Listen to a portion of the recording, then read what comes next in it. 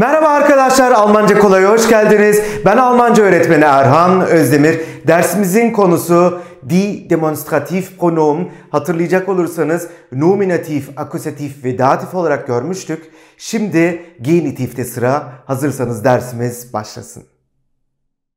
Die demonstratif pronomen dendiğinde bu neydi arkadaşlar?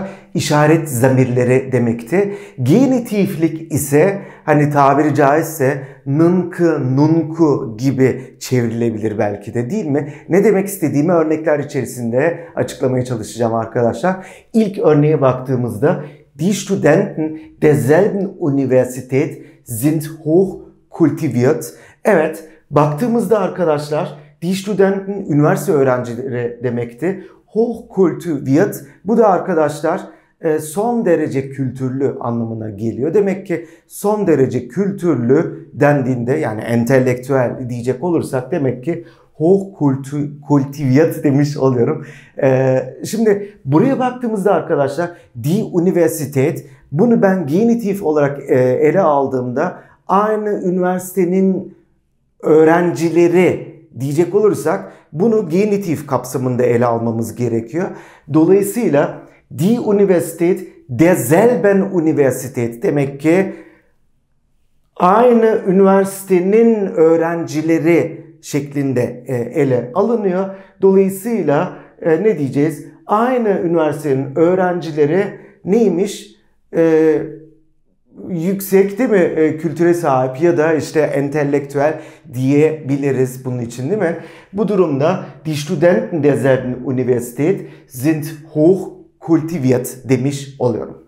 İkinci örneğe bakalım arkadaşlar. Die Eltern desselben Kindes haben im Ausland studiert. Bu da anlaşılır bir cümle olduğunu düşünüyorum. Die Eltern neydi? Ebeveyn demekti.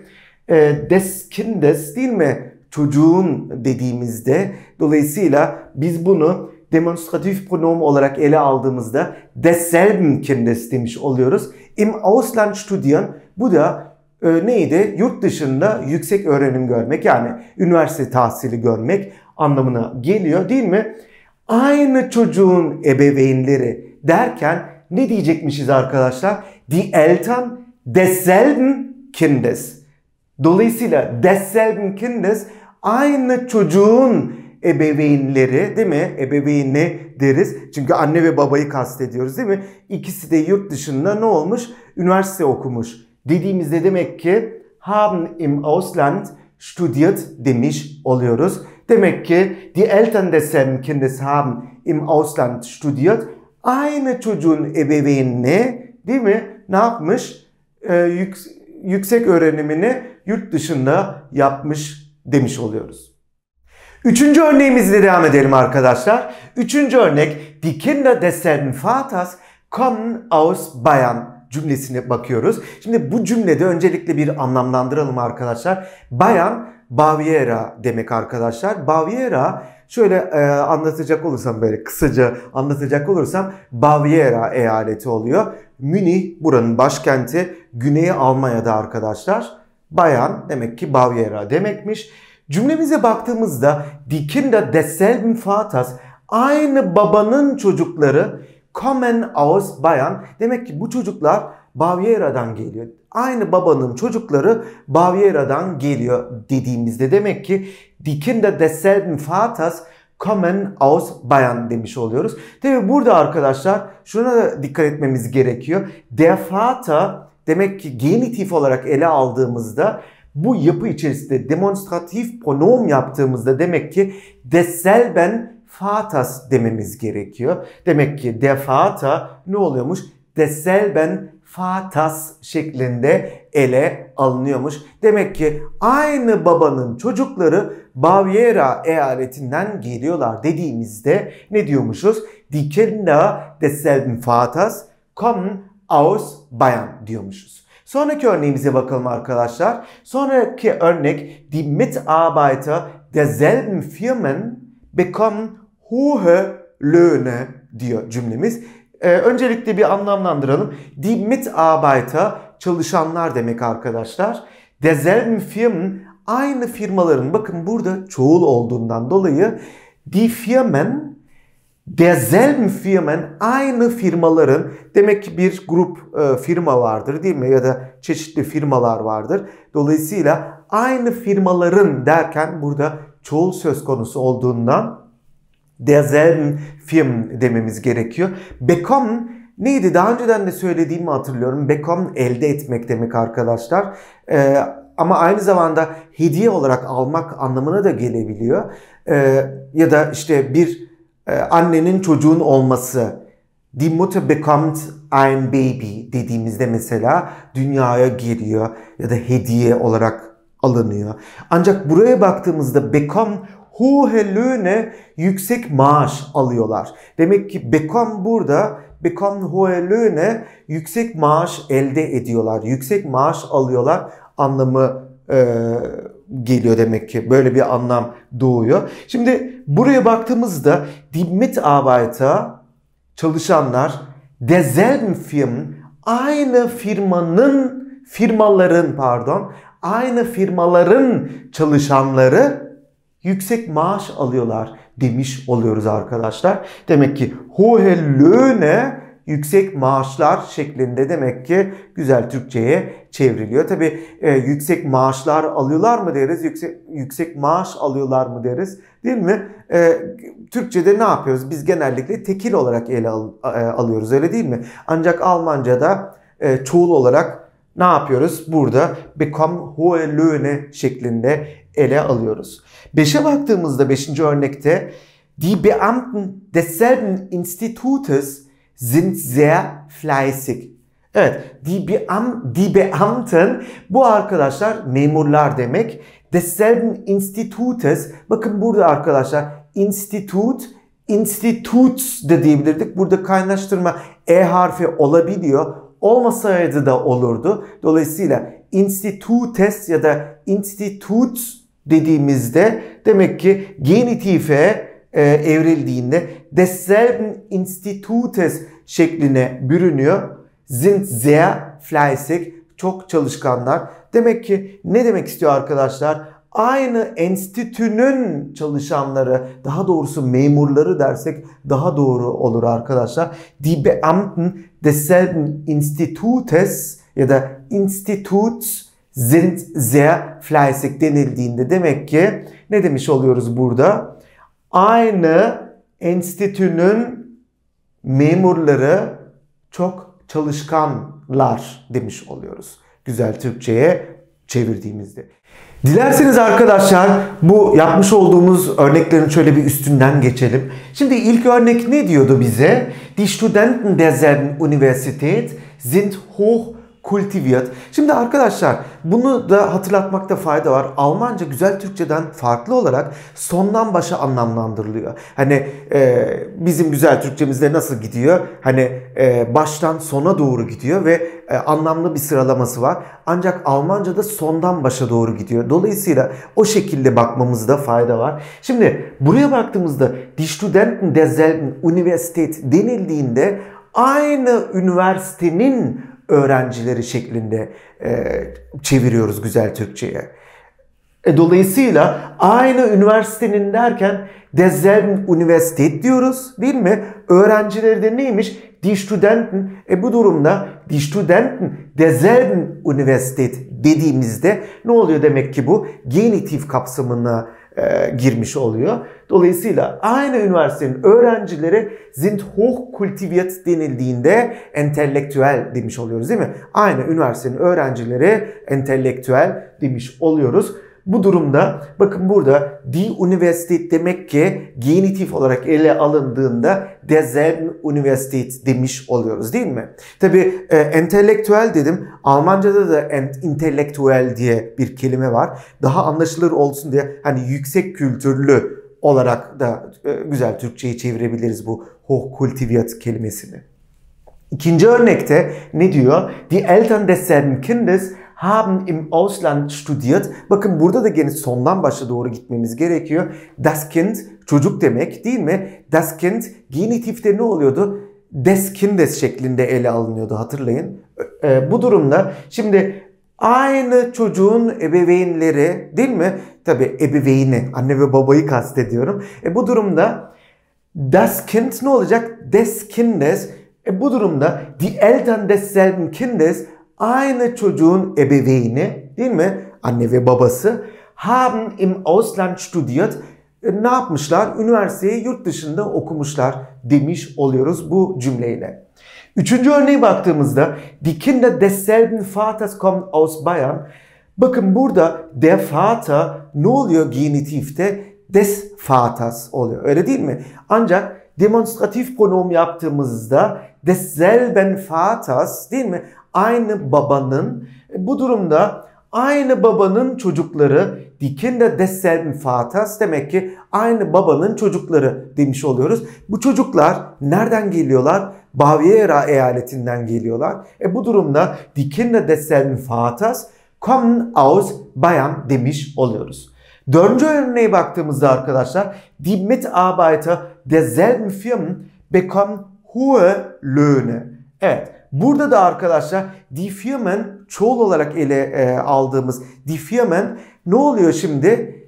Derselben Firmen aynı firmaların çalışanları e bu durumda die Mitarbeiter derselben Firmen bekommen hohe Löhne yüksek maaşlar alıyorlar şeklinde değil mi? Çeviriyoruz tabi güzel Türkçe'de maaşlar değil de yüksek maaş alıyorlar deriz değil mi? Doğrusu bu çünkü.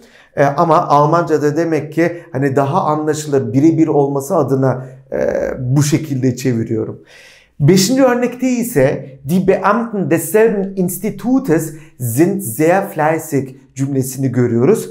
Das Institut demek ki genitiflikte des Institutes şeklinde olabileceği gibi buradaki e olmasaydı da des Instituts bu da doğruydu.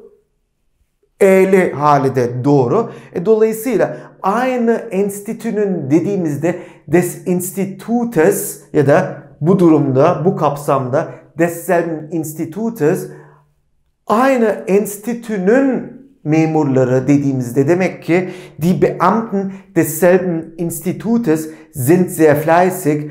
Aynı enstitünün memurları çok çalışkan demiş oluyoruz. Dilerseniz bu cümleleri arkadaşlar doğru telaffuzuyla tekrarlayalım. Die Studenten derselben Universität sind hochkultiviert. Die Studenten derselben Universität sind hochkultiviert. Die Eltern desselben Kindes haben im Ausland studiert. Die Eltern desselben Kindes haben im Ausland studiert. Die Kinder desselben Vaters kommen aus Bayern. Die Kinder desselben Vaters kommen aus Bayern. Die Mitarbeiter derselben Firmen bekommen hohe Löhne. Die Mitarbeiter derselben Firmen bekommen hohe Löhne. Die Beamten desselben Institutes sind sehr fleißig. Die Beamten desselben Institutes sind sehr fleißig. Sıradaki örneğimize devam edelim arkadaşlar. Im August desselben Jahres ist Johann geboren. Evet ne diyor arkadaşlar cümlemiz?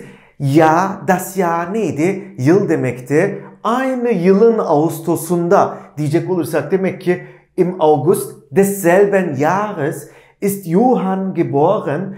E, ist geboren doğdu. Johann bu da e, erkek ismi arkadaşlar. Dolayısıyla aynı yılın Ağustos ayında Johann doğdu diyecek olursak demek ki im August desselben Jahres ist Johann geboren dememiz gerekiyor. Yedinci örneğe baktığımızda arkadaşlar Die Scheiben desselben Wagens sind schmutzig geworden cümlesini görüyoruz. Der Wagen Der Wagen araç demek arkadaşlar. Araba. Das Auto da diyebilirdik. Der Wagen da diyebilirdik değil mi? Bakın die Scheiben e, camlar demek arkadaşlar. Kalkıp e, Fenster demiyoruz Almanca'da. E, araba camları e, e, için. Tabi güzel Türkçe'de cam diyoruz ancak Almanca'da die Scheiben diyoruz. Demek ki araba camları demek ki die olarak ele alınıyormuş. Demek ki arabanın camları diyecek olursak demek ki die Scheiben desselben Wagens düzeltiyorum. Aynı arabanın camları değil mi? Aynı arabanın camları demek ki sind schmutzig geworden kirlendi dediğimizde demek ki Aynı arabanın camları kirlendi. Die Scheiben desselben Wagens sind schmutzig geworden demiş oluyoruz ve son örneğimize baktığımızda die Romane derselben Schriftstellerin sind inhaltlich interessant. Ne diyor cümlemiz arkadaşlar? Romanlar değil mi? Die Romane derselben Schriftstellerin roman yazarı değil mi? Yazar bu bir e, hanım yazar değil mi? Bir kadın yazar. Bu durumda aynı yazarın romanları derken die Romane derselben Schriftstellerin dememiz gerekiyor. Inhaltlich içerik olarak arkadaşlar interessant, ilginç. Burada şunu da söylemekte fayda var arkadaşlar. Interesant şeklinde yazılıyor evet ancak okunurken interessant diye okunuyor. Buna mutlaka dikkat etmemiz lazım. Zaten bu e, telaffuz çalışmalarını bu sebepten yapıyoruz. Doğru bir şekilde e, telaffuz etmek çok çok önemli. Bu durumda demek ki bu interessant şeklinde değil mi telaffuz ediliyormuş. Dilerseniz bu görmüş olduklarımızın şöyle bir üstünden geçelim. Demek ki arkadaşlar im August desselben Jahres aynı yılın Ağustos ayında dediğimizde demek ki im August desselben Jahres değil mi? Ne olmuş? Johann doğmuş. Bu durumda im August desselben Jahres ist Johann geboren dediğimizde demek ki aynı yılın Ağustos ayında Johann doğdu demiş oluyoruz. Yedinci örneğe baktığımızda die Scheiben desselben Wagens demek ki aynı arabanın camları demiş oluyoruz değil mi? Ne olmuş? Sind schmutzig geworden, kirlendiler. Demek ki aynı arabanın camları kirlendi dediğimizde ne diyecekmişiz? Die Scheiben desselben Wagens sind schmutzig geworden diyecekmişiz. Ve 8. son örneğimize baktığımızda die Romane derselben Schriftstellerin demek ki aynı yazarın ama bu bir kadın yazar değil mi? Bu durumda derselben Schriftstellerin diyoruz. Bu durumda e, ne diyeceğiz? Aynı yazarın romanları, die Romane derselben Schriftstellerin ne anlamalıyız demek ki arkadaşlar? E, Almanca'da e, bir sıralama olduğunda sondan başa gidildiğini değil mi? Burada bariz bir şekilde görüyoruz. Bu durumda aynı romanın yazarları e, düzeltiyorum. Aynı yazarın romanları derken die Romane derselben Schriftstellerin diyoruz değil mi? Neymiş? Inhaltlich içerik olarak interessant, ilginç. Demek ki aynı yazarın romanları içerik olarak ilginç dediğimizde die Romane derselben Schriftstellerin sind inhaltlich interessant demiş oluyoruz. Şimdi dilerseniz doğru telaffuzuyla bu cümlelerin şöyle bir üstünden geçelim. Im August desselben Jahres ist Johann geboren. Im August desselben Jahres ist Johann geboren. Die Scheiben desselben Wagens sind schmutzig geworden. Die Scheiben desselben Wagens sind schmutzig geworden. Die Romane derselben Schriftstellerin sind inhaltlich interessant. Die Romane derselben Schriftstellerin sind inhaltlich interessant. Bir dersimizin daha sonuna geldik arkadaşlar. Bu dersimizde die demonstratif pronomen konusunun alt başlığı olan genitiflik yapısını görmüş olduk. Sonraki dersimizde görüşmek üzere diyorum. Hoşçakalın. Tschüss.